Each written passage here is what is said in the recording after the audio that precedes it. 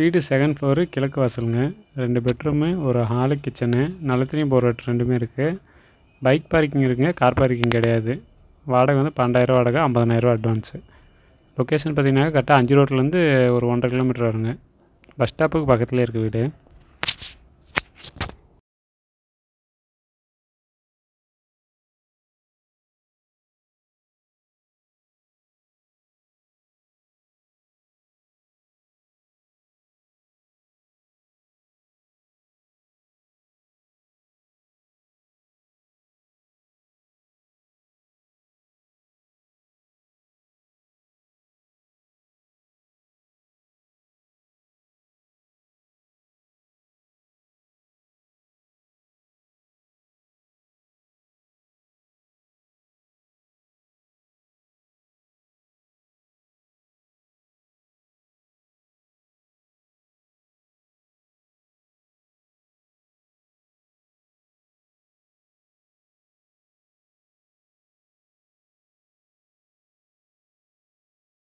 நீங்க நல்லா படிச்சீங்கன்னா சத்தியுகத்துல இந்த சுவர் இருக்குல்ல தங்க செங்கல் வச்சு வீடு கட்டுவாங்க தங்க பிளேட்டை பதிப்பாங்க அதுக்கப்புறம் கற்கல்ல இருந்து வைரம் வைடூரியெல்லாம் பதிப்பாங்க சைட் வாலும் அப்படி இருக்கும் மேலே மேல் கூரையும் அப்படிதான் இருக்கும் டிசைன்ஸ் இருக்கும் அதுல வைரம் வைடூரியம்லாம் பதிக்கப்படும் खर्चा कुछ भी नहीं उनकी वैल्यू क्या होगी वैल्यू बाद में होती है ஆனா அவங்களுக்கு வைரத்துக்கும் வைடூரியத்துக்கும் வேல்யூ தெரியாது அதனுடைய வேல்யூ எப்பன்னா துவாபரிகத்துக்கு அப்புறம் தான் வந்துச்சு அது வரைக்கும் தெரியாது இது தங்க செங்கலுக்கு இவ்வளவு வேல்யூ இருக்குன்னு அங்கிருந்த தேவதைகளுக்கு தெரியாது அதுக்கு வேல்யூவே தெரியாது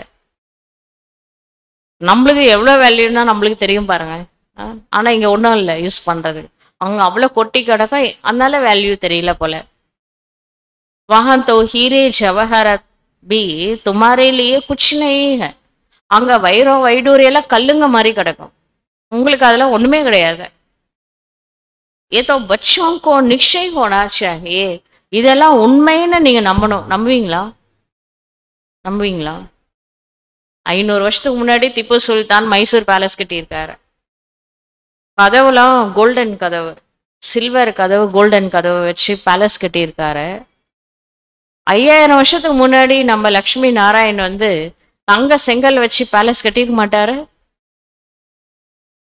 ஐநூறு வருஷத்துக்கு முன்னாடி ஒருத்தர் கட்டுறாருன்னா ஐயாயிரம் வருஷத்துக்கு முன்னாடி அந்த மாதிரி கட்டிருக்க முடியுமா முடியாதா? முடியுமா முடியாதா? நீங்க நம்புறத நம்பாதது உங்க இஷ்டம். நீங்க தேவதையா வந்தீங்கன்னா நம்புவீங்க. இல்லைன்னா நம்ம போறது இல்லை நம்ம தலை உடைக்கிறதா முடிவே கிடையாது.